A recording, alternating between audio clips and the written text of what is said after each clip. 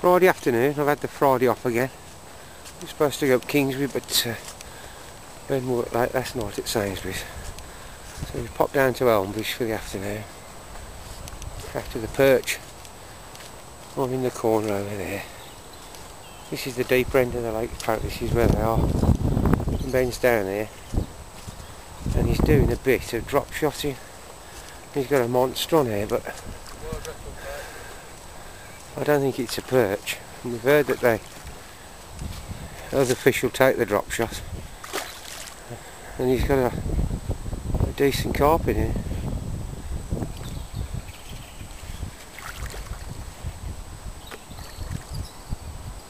Making a bit of a meal of this. Uh,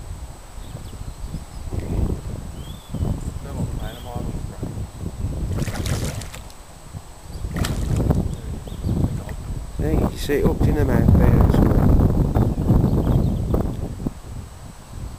You can picture that there.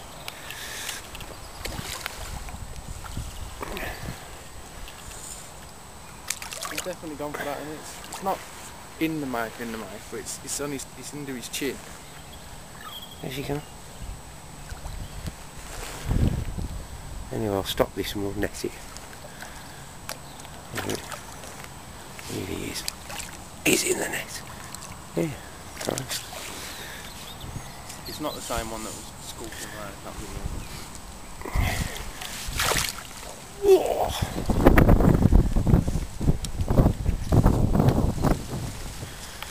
There you go. Yeah, sucked it. It's gone for it. Still plugging away over there. I'm still in this swim. And I'm fishing for the perch, but I'm using the tried and tested method of fishing for the silverfish. Idea being get them interested.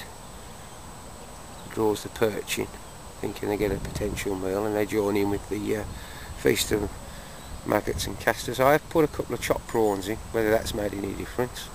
But I'm still catching regular. Simple waggler tactics. Small hook, it's about a size 16. And um, every 30 seconds, half a dozen casters, half a dozen maggots. Catch a fish and then just keep repeating it. And it's a fisher chuck now, so I've got a fair idea the one fish that I lost earlier was a pretty big perch because they haven't fought like they normally do. It must be quite deep here because it felt like a, a carp pushing for the bottom. And um, I'd lost it before I got it to the top where you usually get the erratic head shakes. Anyway, I'm going to have a cup of tea and get back on. Keep chucking some maggots and casters out.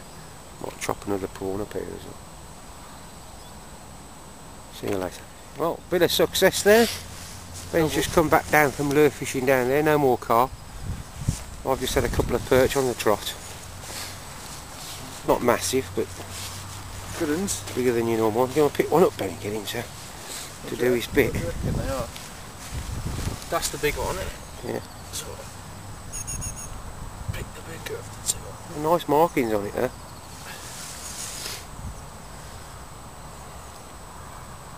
Let's try and get into these feet. So you The one's doing the dance. You going to do it? It's been a bit mischievous. There you go. Two nice perchios. Perch, nice condition fish. Yeah, they are, aren't they? One's fatter than the other.